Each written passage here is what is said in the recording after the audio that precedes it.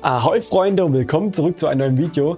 Heute verrate ich dir, wie du aus einem Bild störende Objekte oder einen Maschendrahtzaun aus einem Bild mit Photoshop entfernst. Und du kennst vielleicht das Problem, du bist im Zoo, willst eine Giraffe fotografieren oder einen Löwen oder eine Bergziege, was auch immer. Und dann hast du im Vordergrund ein störendes Objekt oder einen Maschendrahtzaun und das Bild ist eigentlich hinüber, wenn wir mal ehrlich sind. Es sieht dann nicht mehr ganz so schön aus. Und im Photoshop lässt sich das, naja, ich würde mal sagen, in 10, 15 oder vielleicht auch in 20 Minuten easy entfernen. Wie das Ganze funktioniert, das verrate ich dir jetzt. Viel Spaß!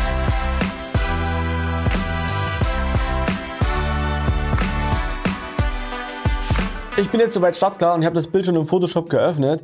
Und wenn du jetzt eins zu eins das Bild mit nachbearbeiten möchtest, kann ich dir nur empfehlen, schau mal in der Videobeschreibung nach, da kannst du das Bild runterladen. So, das Bild ist geöffnet und als erstes würde ich sagen, wir zoomen erstmal ran. Das mache ich jetzt mit der Alt-Taste.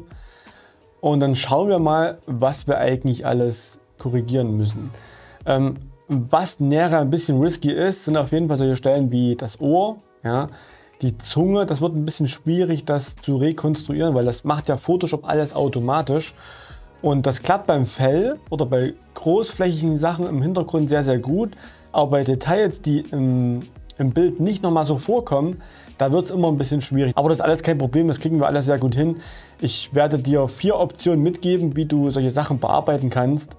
Und dann werden wir innerhalb von, naja, ich sag mal so 20 Minuten, 25 Minuten ein maschendrahtfreies Bild hinbekommen. Was ganz wichtig ist, es gibt mehrere Wege, wie man ans Ziel kommt. Ja, ich werde dir jetzt in dieser Variante, in diesem Video, meine Variante zeigen, wie ich das immer mache. Wir werden jetzt als erstes eine neue leere Ebene erstellen und die benennen wir jetzt erstmal um in Auswahl. Wir brauchen zwar das Bild näher nicht nochmal, aber nur damit wir ein bisschen mehr Übersicht haben, machen wir das jetzt einfach mal. Und hier in dieser leeren Ebene werden wir mit einem Pinsel den Maschendrahtzaun nachzeichnen. Wichtig ist, dass du hier die schwarze Farbe ausgewählt hast und am allerwichtigsten ist es, dass du nicht auf der Hintergrund- oder auf der Originalebene arbeitest, sondern immer nur auf der leeren Ebene. So, ich zoome jetzt ran mit der Alt-Taste und dann mache ich Rechtsklick in das Bild hinein und dann werde ich erstmal die Größe vom Pinsel auswählen. Ich nehme jetzt erstmal Pixel, also 48 Pixel. Das ist ein bisschen zu groß. Ich gehe mal ein bisschen weiter runter auf 45. Ja, 45 Pixel sollte passen. Und sollten wir später merken, dass es, dass es doch ein bisschen zu groß war, können wir die Auswahl noch ein bisschen verkleinern. Ja. Es gibt es eine Variante, wie man das machen könnte. Man könnte jetzt zum Beispiel hier mit dem Pinsel einfach reinzeichnen und hier den Maschendrahtzaun nachzeichnen. Ja. Das ist aber nicht die eleganteste Variante und auch nicht die schönste Variante. Mit Steuerung Z mache ich das Ganze wieder rückgängig, weil so machen wir das definitiv nicht, weil das dauert zu lange und ist auch nicht akkurat. Ich werde jetzt wie vorhin nochmal das hier nachzeichnen, diesen Knüppel. Das mache ich immer so, freihand. Ja. Dann mache ich, setze ich einen ähm, Startpunkt.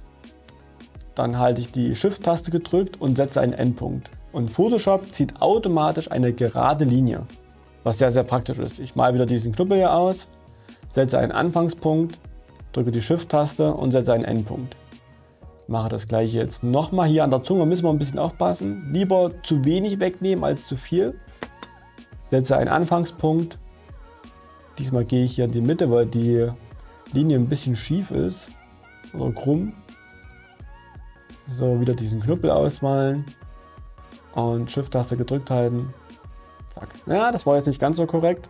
Steuerung Z, Anfangspunkt, Endpunkt. Und schon haben wir einen sehr akkurat nachgezeichneten Maschendrahtzaun. Und damit es jetzt für dich nicht zu langweilig wird, werde ich das Ganze einfach vorspulen und wir sehen uns dann gleich wieder.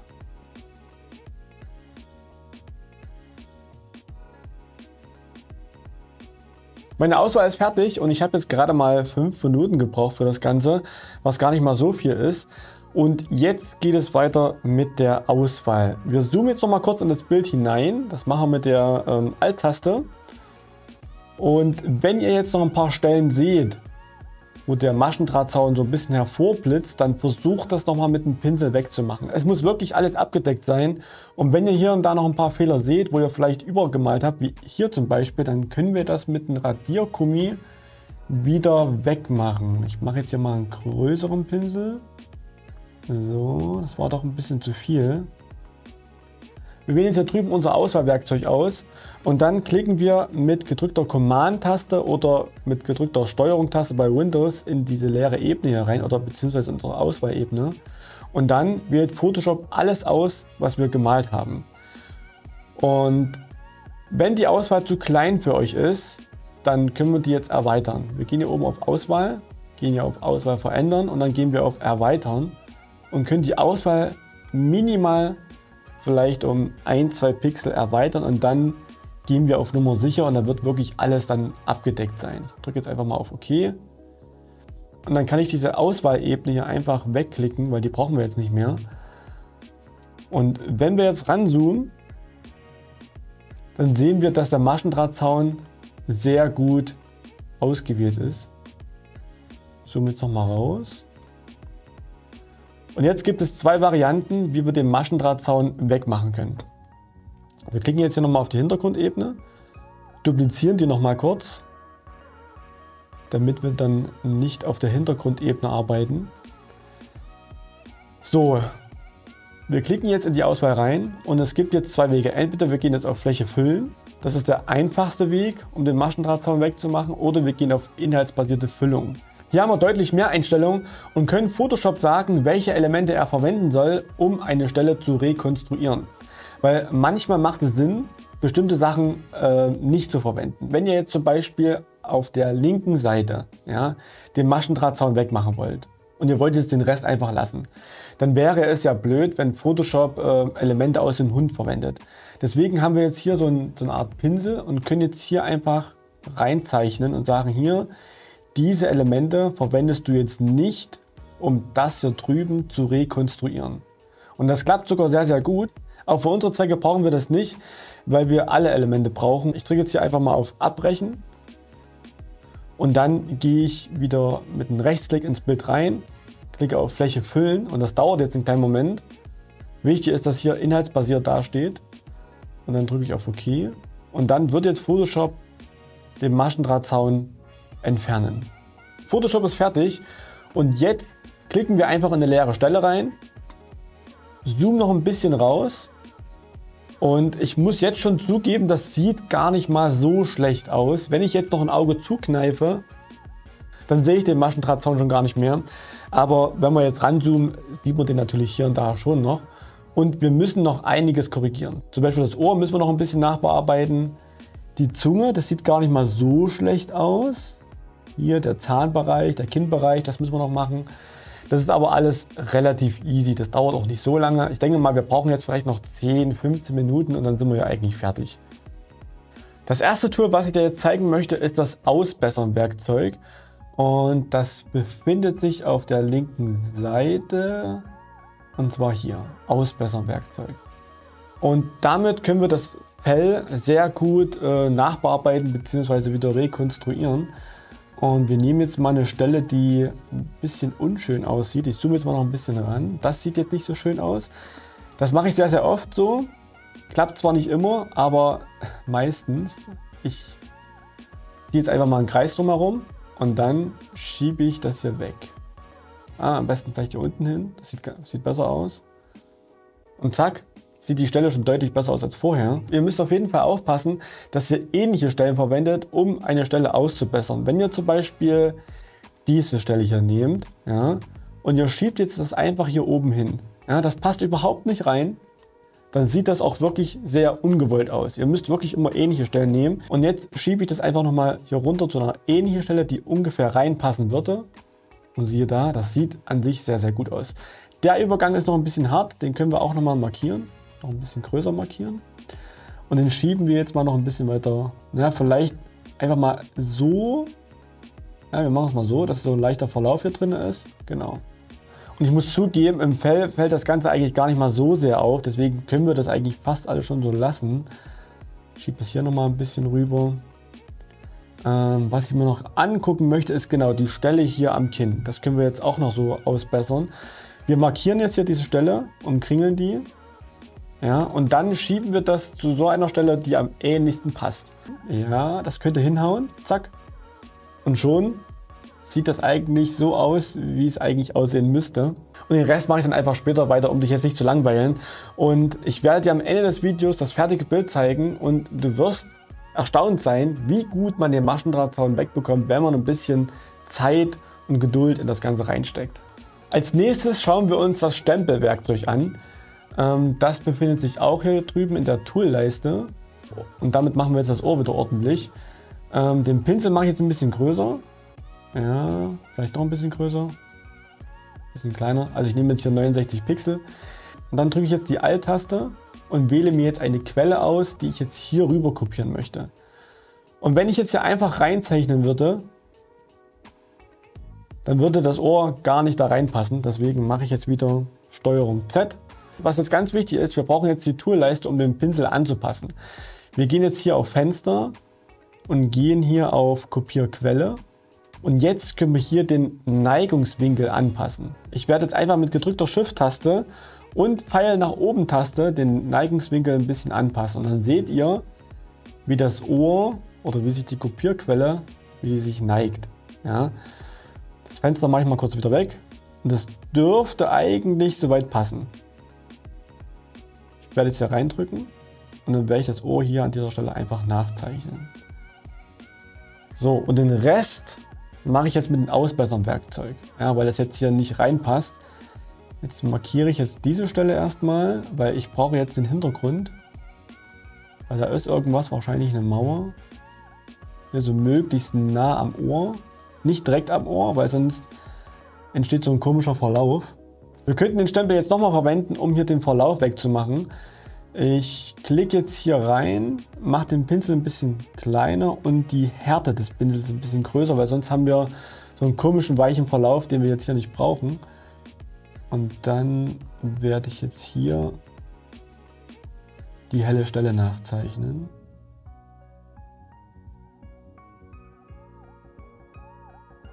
So, und den Rest mache ich jetzt mit dem Ausbessern-Werkzeug. Zack.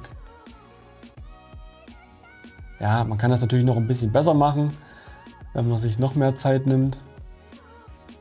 Aber ich denke, das sollte reichen. Ich drücke jetzt Alt-Taste und zoome wieder raus aus dem Bild. So nochmal vorher, nachher.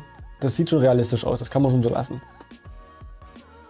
Im nächsten Schritt verwenden wir den Bereichsreparaturpinsel und damit können wir jetzt richtig gut den Hintergrund bearbeiten. Und der Bereichsreparaturpinsel ist wie das Ausbessern-Werkzeug hier auf der linken Seite. Und jetzt zoome ich in den Hintergrund rein und klicke einfach jetzt hier rein und zack wird das wegbearbeitet. Und das kann ich jetzt ja mit jeder Strebe machen, die jetzt noch zu sehen ist. So. Hier vielleicht nochmal, vielleicht können wir das auch wegstempeln nachher, mal gucken, was er jetzt macht. Ja, das passt so. Hier nochmal lang ziehen. Dann ziehe ich jetzt hier nochmal durch. Das sieht nicht immer gut aus. Aber wenn man ein bisschen öfters reinklickt, dann wird das schon. Hier habe ich nochmal eine Strebe. Wichtig ist, wenn ihr eine Strebe wegmachen wollt, dann malt alles aus. Man kann das Photoshop sehr gut rekonstruieren an dieser Stelle. Ich werde bei euch das Ganze ein bisschen wieder vorspulen, damit ihr gleich seht, wie der Hintergrund aussehen kann, wenn man alles damit nachbearbeitet.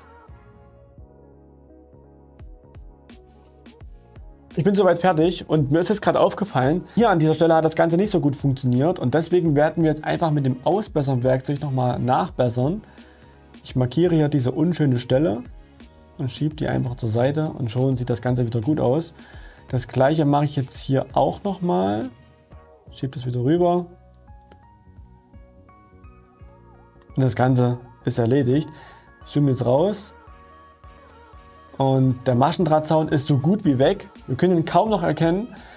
Wo wir den noch erkennen können, ist an der Zunge und hier müssen wir noch ein bisschen ausbessern. Ich werde als allererstes eine neue Ebene erstellen und das mache ich jetzt mit Steuerung bzw. Command J und schon habe ich eine neue Ebene und jetzt müssen wir, naja, ein bisschen tricksen. Also wir können jetzt hier mit dem Ausbessern-Werkzeug das Ganze versuchen. Das könnte klappen. Ja, das sieht ja an der Stelle sehr gut aus. Hier wird es mit dem Ausbessern-Werkzeug nichts, weil wir hier nicht wirklich eine Stelle haben, die hier reinpasst. Ne? Deswegen werde ich jetzt einfach das Auswahlwerkzeug verwenden. Markiere hier grob die Zunge auf der linken Seite. Drücke jetzt Command bzw. Steuerung J und daraus wird jetzt eine neue Ebene gemacht. Und wenn ich jetzt hier mit dem Verschieben-Werkzeug reinklicke, habe ich jetzt eine neue Ebene, die ich jetzt anpassen kann.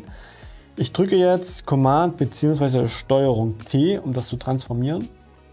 Und hier oben kann ich jetzt bei der Breite einfach vor der 100 ein Minus setzen. Und schon ist das gespiegelt. Und wir können das jetzt hier einfach so quasi reinsetzen, aber das, damit ist es nicht getan. Wir müssen das noch ein bisschen drehen. Ja, das könnte so hinhauen. Vielleicht, ich ziehe es jetzt mal, ich würde es eigentlich jetzt so nicht machen, aber ich ziehe es jetzt mal noch ein bisschen weiter nach oben. Drücke jetzt Enter, dass die Zunge ordentlich reinpasst. Und jetzt gehen wir hier auf diese Alpha-Maske. Wir klicken jetzt hier einfach mal rein. Und jetzt können wir in dieser Maske Elemente entfernen lassen, die aber nicht wirklich weg sind. Ja? Also ich nehme jetzt hier den Pinsel, wechsle die Farben und dann male ich jetzt hier mit Schwarz rein und alles, was jetzt hier in, dieser, in dem kleinen weißen Feld schwarz ist, ist dann weg. Ne? Es ist nicht wirklich weg, es wird einfach nur ausgeblendet. Und hier könnte man auch den Pinsel noch ein bisschen weicher machen. So, fahre jetzt hier ein bisschen lang. Und wenn ich mich jetzt einfach mal verklickt habe, wie jetzt gerade eben, kann ich mit dem weißen Pinsel, also ich wechsle jetzt einfach die Farben, zack, wieder reinzeichnen und diese Stelle wieder hervorholen. Ja, also ich mache das immer mit X, dann kann ich die Farben wechseln. Drücke jetzt wieder X, dann kann ich das wieder wegmachen. So, jetzt widme ich mich der anderen Seite. Hier kann ich den Pinsel noch ein bisschen weicher machen. Hier brauchen wir einen schönen Verlauf. Was mir jetzt nicht so richtig gefällt, ist dieser leichte Schatten bzw. diese schwarze Kontur.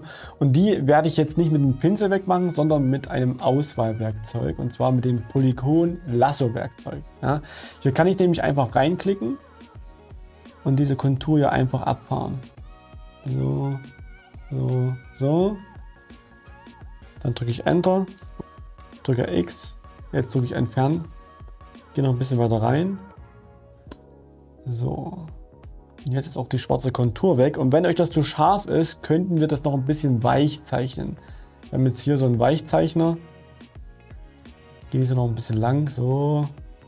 Wichtig ist, dass ihr hier in dieser Alpha-Maske arbeitet und nicht auf der Originalebene. Ja.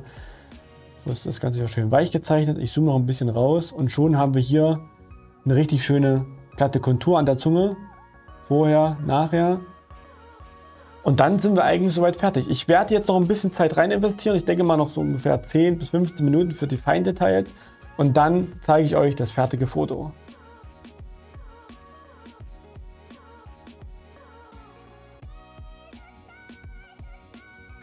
Ich bin jetzt soweit fertig und ich habe jetzt noch mal so grob, naja, 6, 7 Minuten investiert. Und ich hoffe, dass du gut vorangekommen bist, dass ich dir gut helfen konnte. Schreib mir gerne mal in die Kommentare, wie du vorangekommen bist, ob dir das Tutorial geholfen hat, ob ich dir das leicht und verständlich auch erklärt habe.